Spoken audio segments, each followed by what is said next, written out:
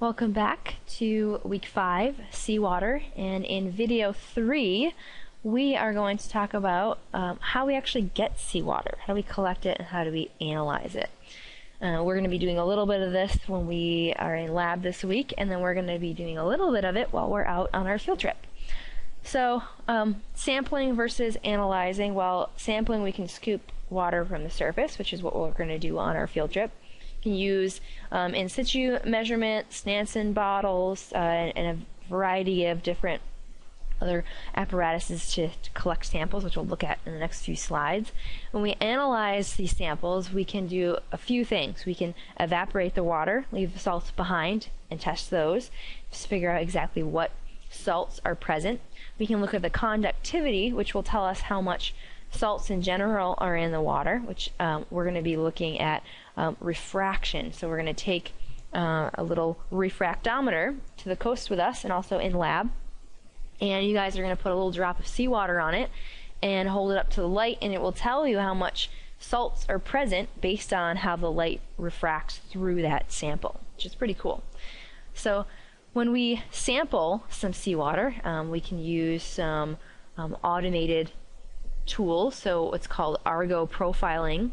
So this float will start at the surface, and um, it will be able to communicate with satellites, and um, it can um, transmit data um, from the surface to satellites and recharge its batteries if it has a solar battery. It will be told what to do, so be told maybe to um, go to a certain depth in the ocean, sit there for a while, drift in the currents, and it can record not only the uh, salinity of the water, but also the temperature as well. Lots of different things that can be sampled and tested.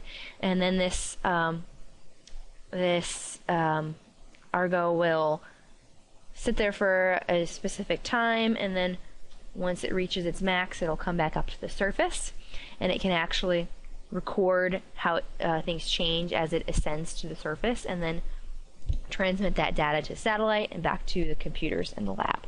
So this can be done um, over and over again as long as the uh, actual uh, uh, apparatus is functioning properly. So it can get a lot of data over and over and over again from certain parts of the ocean. Um, also, what can be done, um, these are um, called CTDs. So what happens is um, it measures the conductivity, which is also the salinity, the temperature, and the depth.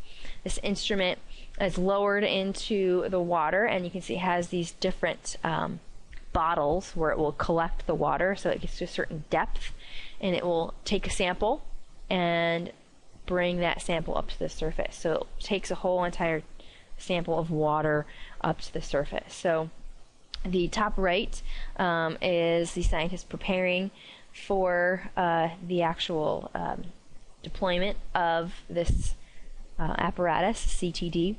And in this case, they were um, looking at chlorophyll and nutrient concentrations at different depths in the ocean.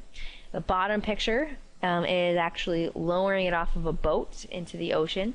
And in this one, they were going down to about 100 meters, one kilometer, to see how things change uh, in temperature and salinity and some other properties as you go from the surface to deeper depths. So all that data I showed you earlier comes from stuff like this. So this is actually measuring it going straight down. We have the um, automated um, little guys that can be um, drifters that can be told what to do and where to go. And then we also have um, a drifter that just goes with the flow. It um, is kind of like a wind sock in the ocean, and it gets carried along in currents, and you can attach different types of uh, devices to measure temperature, salinity, um, and it will track this this drifter as it moves from place to place, so you can get a, an idea of what the ocean currents are like as well. So this is just for surface um, data, uh, maybe a little bit deeper into the ocean, but not not not very deep. We can also, if we want to go really really deep, we can use ROVs. Um, much more practical than an AUV, where you're going to be an actual person in it. And the reason for that is this can go much deeper. Um, we can we don't have to worry about the pressures that exist at those deep locations inside the ocean and keeping someone alive in that.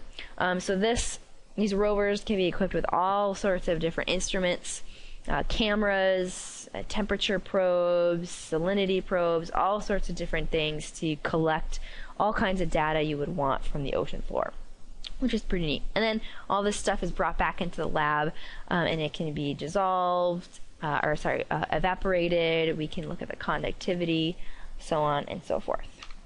So that's how we collect seawater and how we analyze it. We'll come back in the next video and take a look at the globe and see how temperature and salinity change from place to place.